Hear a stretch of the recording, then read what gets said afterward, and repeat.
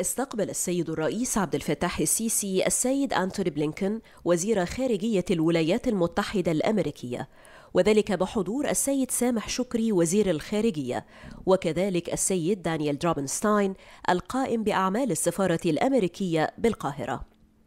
وصرح المتحدث الرسمي باسم رئاسة الجمهورية بأن السيد الرئيس أعرب عن ترحيبه بلقاء وزير الخارجية الأمريكي ناقلا سيادته تحياته إلى الرئيس جو بايدن ومؤكدا على علاقات الشراكة الاستراتيجية الممتدة بين مصر والولايات المتحدة والتطلع لتعزيز التنسيق والتشاور بين الجانبين بشأن مختلف الملفات السياسية والأمنية وقضايا المنطقة.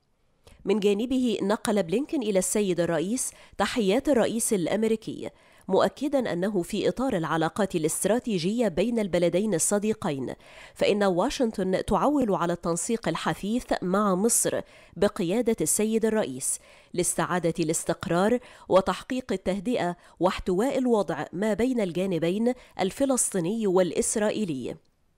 وأوضح المتحدث الرسمي أنه في هذا السياق تم استعراض التطورات والأحداث الأخيرة في الأراضي الفلسطينية والجهود المشتركة والمساعي المصرية الجارية لاحتواء التوتر المتصاعد خلال الأيام الماضية.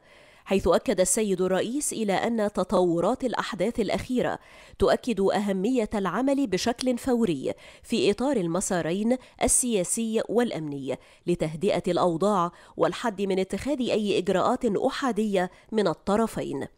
مؤكدا سيادته موقف مصر الثابت بالتوصل إلى حل عادل وشامل يضمن حقوق الشعب الفلسطيني وفق المرجعيات الدولية وعلى نحو يحل تلك القضية المحورية في المنطقة ويفتح آفاق السلام والاستقرار والتعاون والبناء. وأضاف المتحدث الرسمي أنه تم خلال اللقاء تبادل الرؤى ووجهات النظر بشأن عدد من القضايا الدولية والإقليمية ذات الاهتمام المشترك فضلا عن بعض موضوعات العلاقات الثنائية بين الجانبين. وقد تم في هذا السياق التطرق إلى قضية سد النهضة حيث أكد السيد الرئيس موقف مصر الثابت في هذا الصدد من خلال ضرورة التوصل إلى اتفاق قانوني ملزم لملء وتشغيل السد بما يحقق المصالح المشتركة ويحفظ الحقوق المائية والتنموية لجميع الأطراف مشددا سيادته على أهمية الدور الأمريكي للاطلاع بدور مؤثر لحلحلة تلك الأزمة.